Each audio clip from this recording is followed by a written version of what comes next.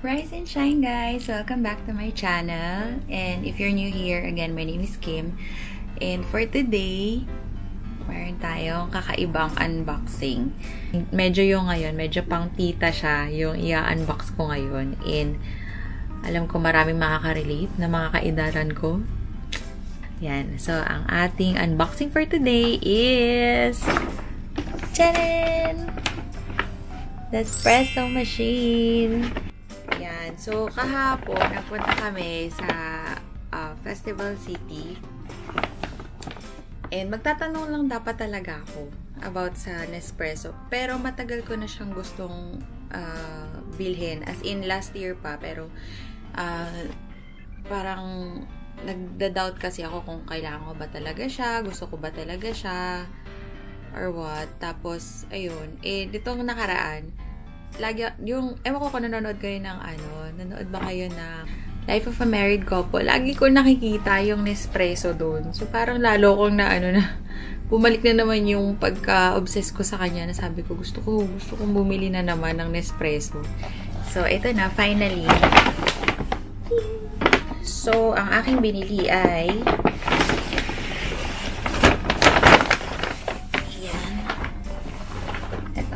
Uh, Nespresso Essenza Mini. Kaya ito yung napili ko kasi maliit siya.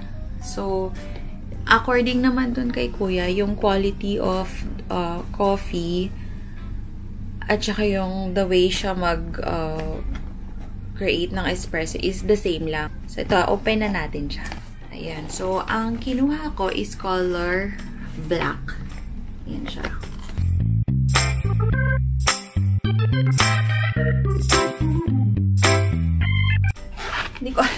Tanggalin.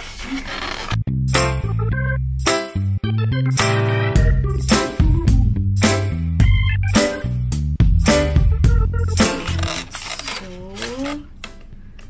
ito yung sa drip niya.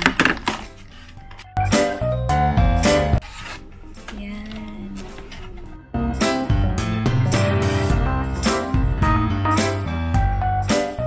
Siya. Ching! So, ito. Yung serial number. Ito yung sa drip, yung sinasabi ko kanina. Yung isushoot siya dito.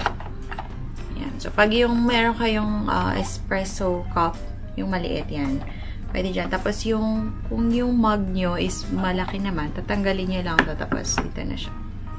Tapos, ito yung taas niya. Dito nyo ilalagay yung capsule. And, uh, ito yung for es uh, button for espresso and for lungo. Yan. Tapos, ito yung water tank niya sa likod. Hindi ko alam kung ilang liters siya.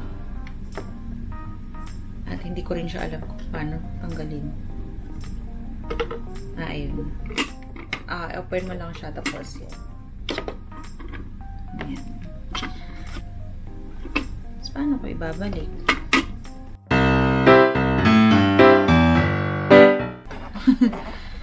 paano to?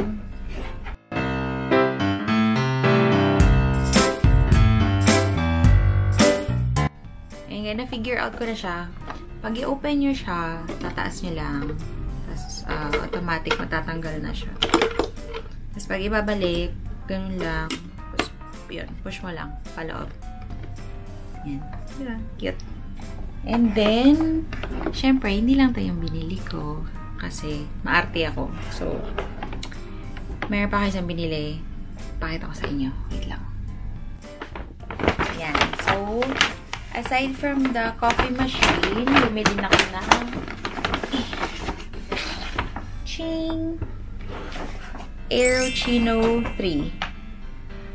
So, meron ng Aerochino 4. Tapos, meron sila ng barista. Kaso, masyado nang mahal. Tsaka parang same lang naman siya ng ano ng use. Parang mas marami lang settings yung dalawa ngayon. I mean, I don't think na kailangan ko siya. So, ito na lang. Okay. Ay. So, yan. Ang Aerochino.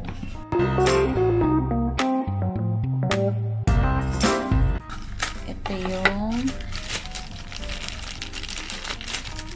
takip niya. Tapos, same lang din. I, I don't know kung sa Pinas mo siya bibilhin. Siguro iba yung socket niya. Or yung plug niya. Socket tuloy.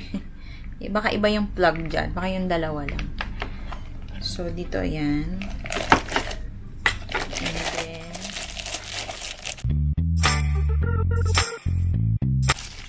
ito yung pinaka-base niya.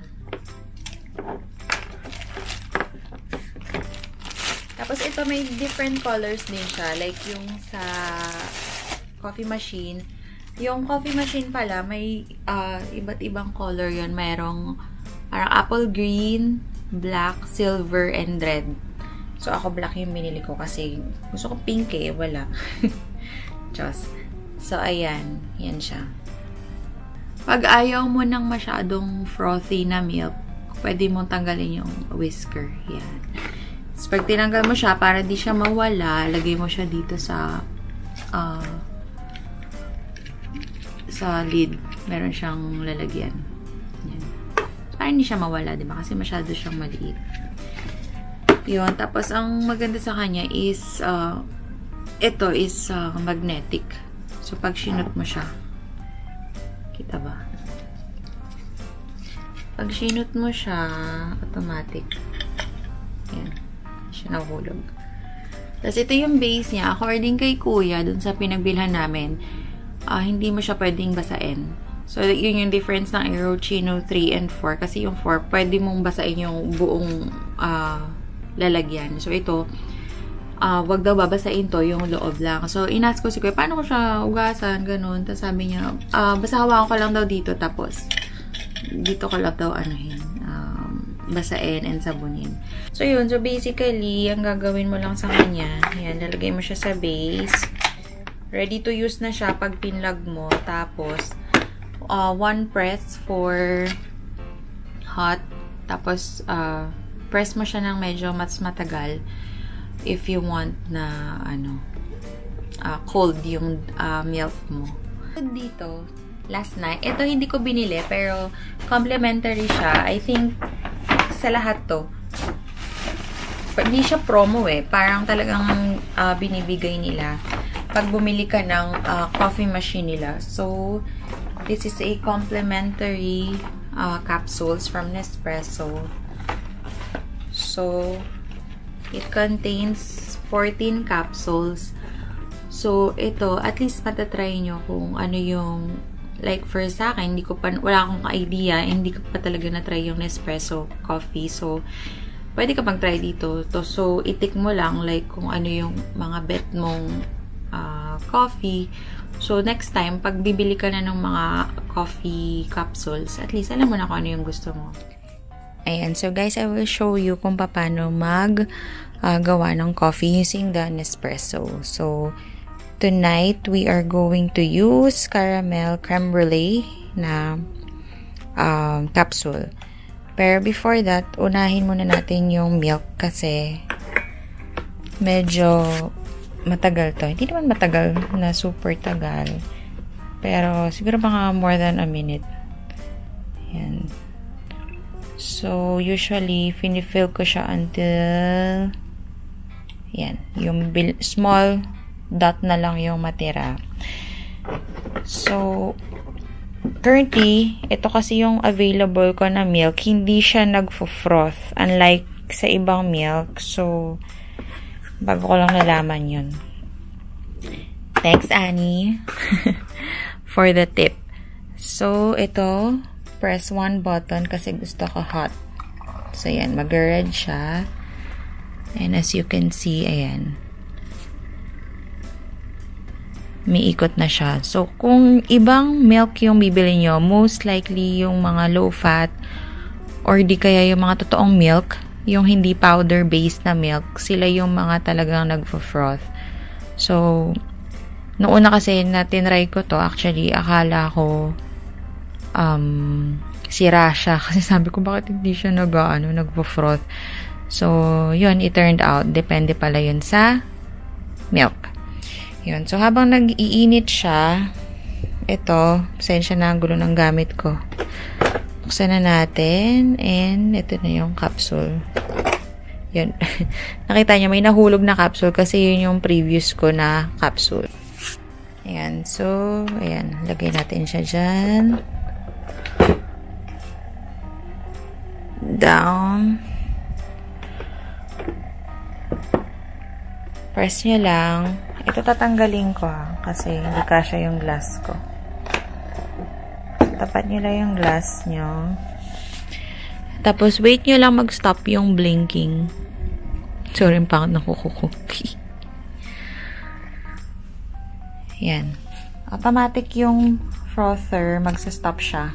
Mag-off na siya. Yan. Tingnan nyo, hindi siya super bubble. Nagbabubble siya pero hindi siya tumatagal. After a while, mawawala yung bubbles na yan. Pero yung kapag magandang klaseng milk yung ginamit nyo, ano yun, uh, yung parang pang coffee shop na ano. So, yan, pag nag-stop na yung blinking, so, espresso kasi yung capsule ko. So, espresso and lungo, ito lang.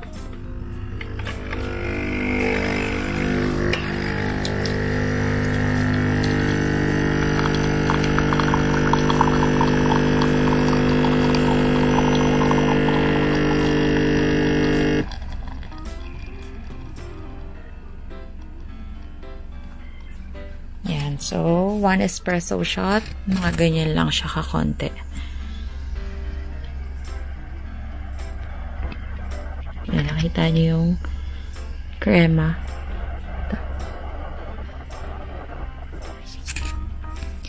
Okay, so after that, lalagay ko na yung milk.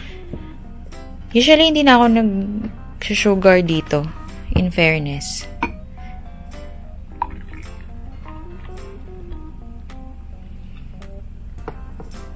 Tapos minsan, pag parang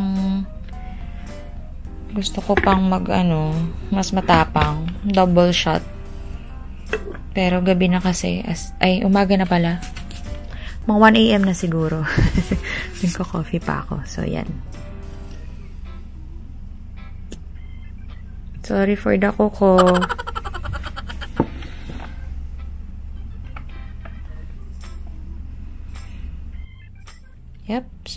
Yan na siya. Mas maganda siya talaga pag yung may froth. Para siyang pang, ano, coffee shop, Cheverlu. Tapos, pwede kang mag-latte art kung gusto mo, ganun-ganun. Yan, anyway. Yan na siya. Thanks for watching, guys. And if nag-enjoy kayo and you want to subscribe to my channel, please do so. And don't forget to hit the notification bell. Thank you, guys. Bye-bye.